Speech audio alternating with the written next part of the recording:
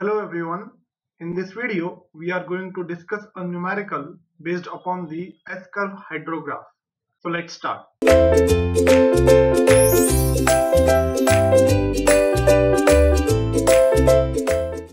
Now the problem statement, it says that the ordinates of the 2 hours unit hydrograph is given in the table which is shown below and if there is a storm of 3 hours in a catchment area for which the total rainfall is 6.6 centimeter and phi index which is known as the infiltration index for the catchment is 0.2 centimeter per hour. Then find the ordinates of the flood hydrograph at 5 hours duration for which the base flow is taken as 15 cubic meters per second.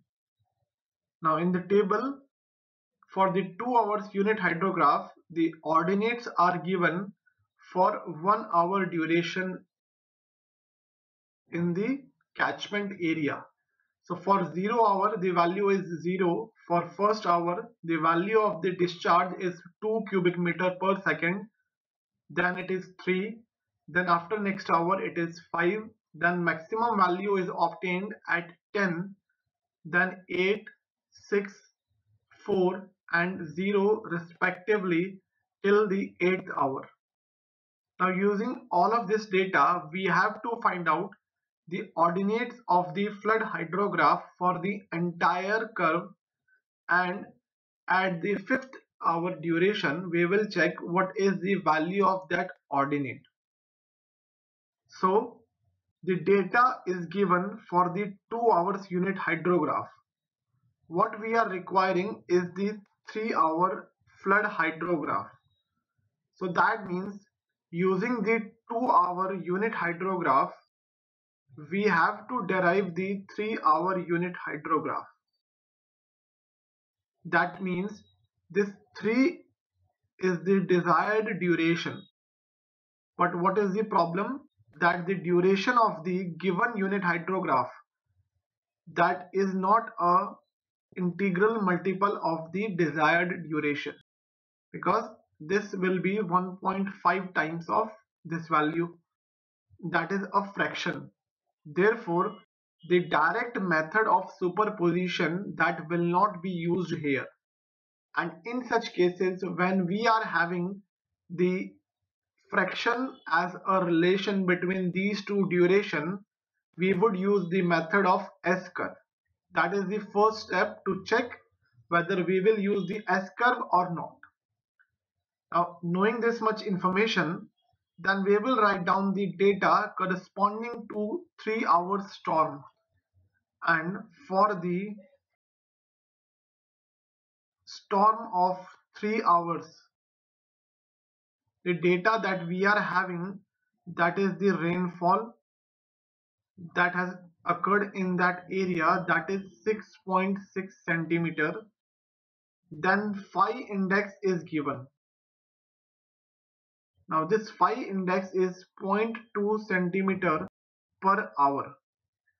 Now when you look at this duration this is indicating that in one hour duration the infiltration that has occurred. So this phi index is representing the infiltration loss and that too in one hour. That is is equal to 2.2 centimeter. That is the value of the infiltration loss. Now the total storm which has occurred that is for 3 hour duration Therefore, the infiltration loss that will be equal to 0.2 into 3 and that value will be in centimeters.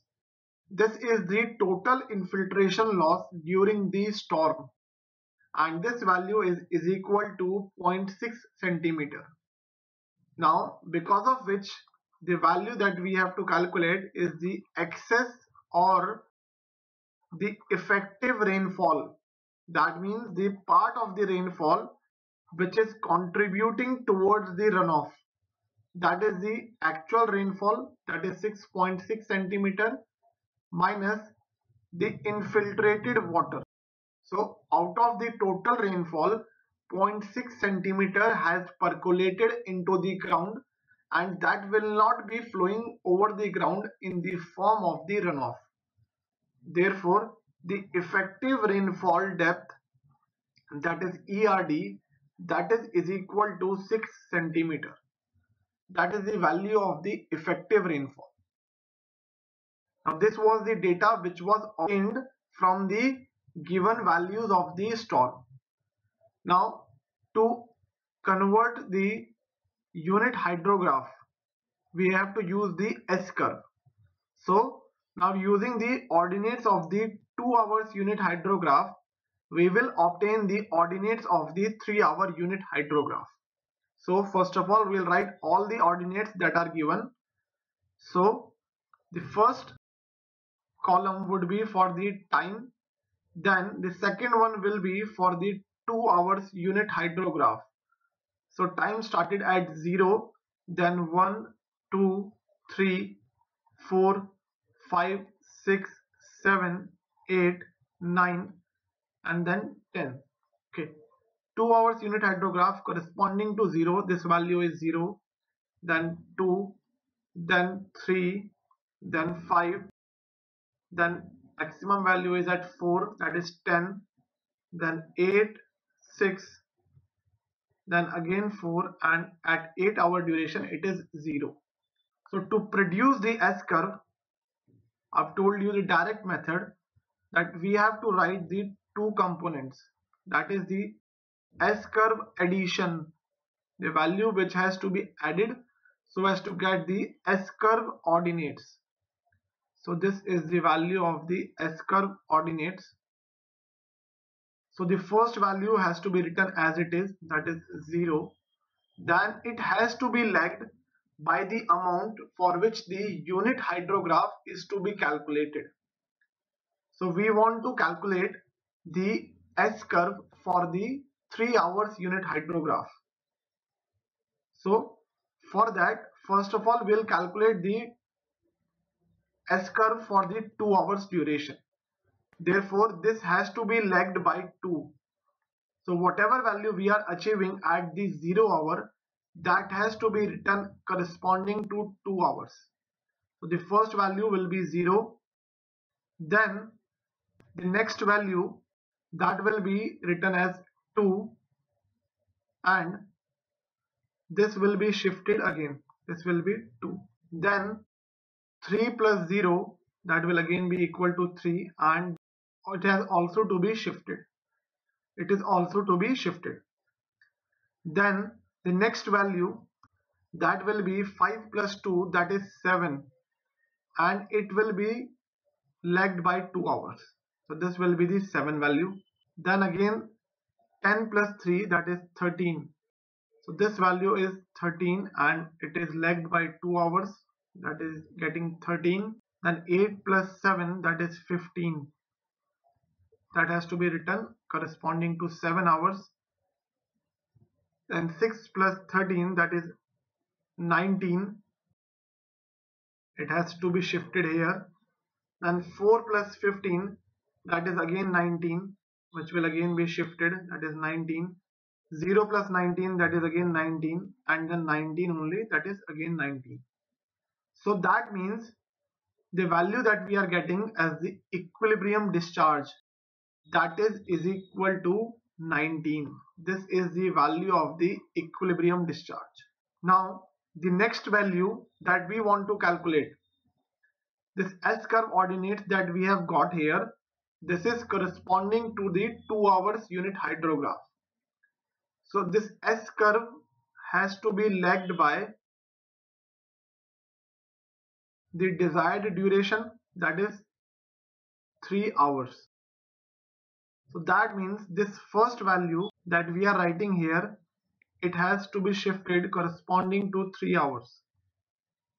So the first value will be 0 at 3 hours and then all the values will be written as it is that is 0 2 3 then 7 then 13 then 15 then 19 19 19 and again 19 now the difference of these two because what we are doing if we look at the curve it would be better to understand with the help of the curve.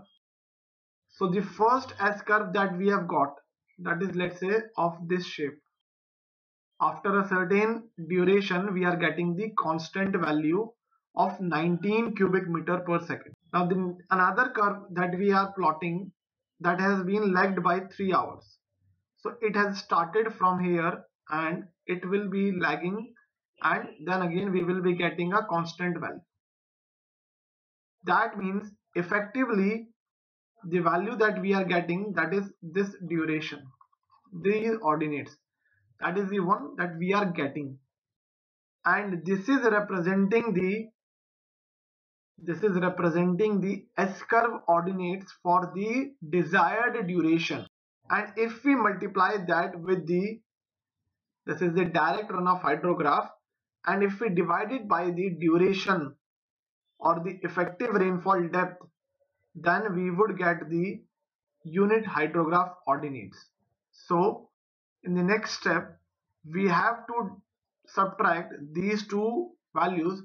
Let's say this is I'm writing as 1 and this is writing as 2 so we have to deduct second value from the first one so the first value will be 0 minus nothing that is 0 then 2 minus nothing that is again 2 then 3 7 then 13 minus 2 that will be equal to 11 15 minus 3 that is 12 19 minus 7 that is again 12 then 6 then 4 0 then after this 0 we are getting 0 minus 19 that is minus 19 minus 19 and minus 19 now these values that is known as delta y. Now to calculate the unit hydrograph this delta y has to be divided by the t by d value. So in turn it will be equal to d by t. It will be equal to d by t. Because what we are doing whatever ordinate that we are getting that is delta y that is for the direct runoff hydrograph. Now to get the unit hydrograph we have to divide it by t by d value. So ultimately we will be multiplying it with the d by t ratio which is d value is 2 hour and the desired one is 3 so that means we have to multiply each value by 2 by 3. So this will be 0 and 2 into 2 by 3 that is 4 by 3. Then it will be 2 only.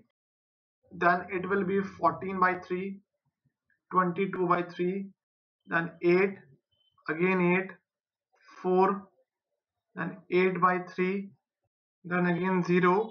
Then we will be getting the value in negative sense. So we'll stop at this zero point. Now what we were requiring in the problem, going back to the problem. So we have to find the ordinates of the flood hydrograph at the 5 hour duration that we have to calculate.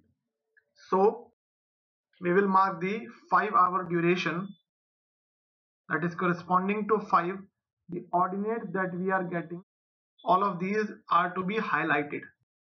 So the ordinate of the 3 hours unit hydrograph. This value is the corresponding to 3 hours unit hydrograph. So ordinate of the 3 hours unit hydrograph at 5th hour that is is equal to 8 cubic meter per second. That is the ordinate of the 3 hours unit hydrograph. Now corresponding to this value if we look at the term here this unit value that has been used that is indicating that the effective rainfall depth is, is equal to 1 centimeter only. Therefore, we can say that for 1 centimeter effective rainfall depth the discharge value is 8 cubic meter per second and in this storm that is for the 3 hours the effective rainfall depth that has occurred in the area is of 6 centimeter. Therefore for 6 centimeter effective rainfall depth this discharge will be 6 into 8 that is is equal to 48 cubic meter per second that is the value of the effective rainfall discharge for the 3 hour storm. Now this we know as the direct runoff. So the direct runoff for 3 hours storm that is is equal to 48 cubic meter per second. Now in the problem it was also given that the base flow for this 3 hour storm that is is equal to 15 cubic meter per second. So when we have obtained the direct runoff hydrograph this was the curve that we were getting. And in this curve corresponding to the fifth hour we are getting the discharge of 48 cubic meter per second. But it has been given that 15 cubic meter per second of the base flow is available. That means this is the contribution from the groundwater. Because of which now we will add both of them. So we'll start the direct runoff hydrograph from this 15 ordinate and we will finish it at again 15 so this will be the flood hydrograph for the 3 hour duration and this is the direct runoff hydrograph. So that means this total ordinate has to be increased by this 15 value. Therefore, ordinate of the flood hydrograph that is at fifth hour duration that is is equal to 48 plus 15 in cubic meter per second. Therefore the total discharge at fifth hour will be 63 cubic meter per second. That is the q5 that is discharge at the fifth hour for which the hydraulic structure is to be designed. Now that completes the problem based on the S-curve hydrograph. Now in the next video, we will solve the another numerical which will be based upon the earlier hydrograph that we have already studied about. Thank you.